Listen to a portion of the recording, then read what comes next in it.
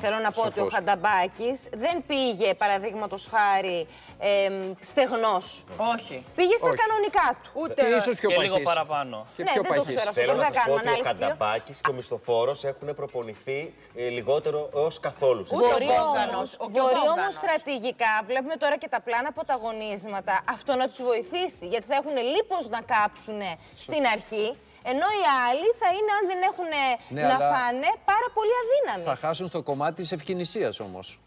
Εντάξει, δεν μιλάμε τώρα για ανθρώπους. Οι, οι άνθρωποι έχουν μπει μέσα στο Όχι, σε All Star αυτό το, Survivor. στο πρώτο το αγώνισμα είδες ότι στους κύβους το θέμα της ισορροπίας έπαιξε το μεγαλύτερο ρόλο μετά το στόχο. Ναι, γιατί δεν, και εκεί θέλει μια στρατηγική. Δηλαδή, είδες ότι κάποιοι το βρήκανε το κόλπο. Ο Μπόγδανος το έκανε χαμηλά, Και με με μικρά- λυγισμένα τα ναι. πόδια και του πιάστηκαν μπροστά την Πάντως, και σε, έφαγε, μην πω καμιά αυτό, σε κοτσάνα. αυτό που λες, Φέη, Ε, στην στρατηγική, κεφάλι. νομίζω την ίδια στρατηγική έχει ακολουθήσει και η Ευρυδίκη Παλαβάνη, που την είδαμε. Μπορεί να έχασε στο, στο χθεσινό αγώνισμα. έχασε. Ήταν πιο βαριά αγωνιστικά. Βαριά δεν, έχω, δεν εννοώ για το βάρος της, εννοώ. Στις ε, κινήσεις Στις της. κινήσεις της και στην, ε, τα- στην εκρηκτικότητά της. Φάνηκε. Αυτό λοιπόν είναι σε στρατηγική και έχεις απόλυτο δίκιο. Κάποιοι παίκτες, και ο Περικλής και ο Χανταμπάκης και η Ευρυδίκη, προσπάθησαν να αυξήσουν τη μυϊκή τους μάζα γιατί χάνουν πολύ γρήγορα το βάρος τους για να κρατήσουν τις δυνάμεις τους. Έτσι, ναι. Γιατί έχουν σκοπό να μείνουν περισσότερο από τους υπόλοιπους. Είμαι βέβαιος. Και να σας πω και κάτι Για άλλο. να έχουν επειδή- μεγαλύτερη διάρκεια ουσιαστικά. Ναι, ναι, Επίτηδες ναι, το ναι, κάνανε. ναι, ναι. Το είπε και ο Λιανό. Η Βαλαβάνη δεν έχει σταματήσει ποτέ την προπόνηση. Από το 2017 που είχε πάει,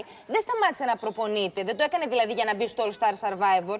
Και προφανώς γνωρίζει και τα της γυμναστικής πάρα πολύ Παιδιά, καλά. έκανε Παρότι pole dancing η έγραφε κοπέλα. δημοσιογράφος ε, ε, Ναι, έκανε στον αθλητικό τίτλο τέλος ρεπορτάζ πάντων. Ναι. κάποτε. Γνωρίζει πάρα πολύ καλά. Εγώ θεωρώ ότι με στρατηγική και με αυτή τη Βέβαια. δεύτερη σκέψη, όπως και ο Αναγνωστόπουλος που είναι γνώστης των, ε, εμ, ε, τι- των αγωνισμάτων. Είναι στρατηγός. Ναι, δηλαδή δεν το κάνει τυχαία. Θεωρώ ότι οι επίτηδες θέλουν να έχουν μεγαλύτερη διάρκεια, να χάσουν πρώτα το λίπος και να μην είναι αδύναμοι. Η Δαλάκα όμως, για πείτε μου εσείς, γιατί εγώ εχθές στην έναρξη του, Survi- του Survivor σοκαρίστηκα. Αλλά το, με το την δείχνει. εικόνα της Κατερίνας Δαλάκα.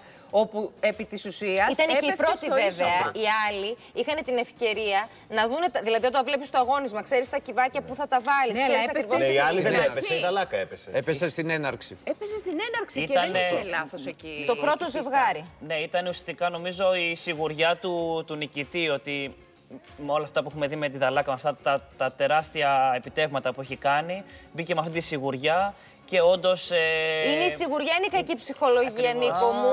Να τα τώρα, γι' αυτό Αυτά το τα πάω εγώ. Για γράμματα να δούμε. κάνανε ζημιές, Θέλουμε φοβάμαι. τα- το Αυτά τα follow-up γράμματα. φιντηρίκο σήμερα δεν έχουμε. Αυτά τα γράμματα κάνανε ζημιές. Ε, θα έχουμε ένα Έχει πεσμένη follow-up. ψυχολογία. Πάντως δεν ήταν. Η Κατερίνα Δαλάκα, παιδιά, δεν ήταν και η ψυχή της παρέας. Μιλάμε για την νικήτρια ενός survivor.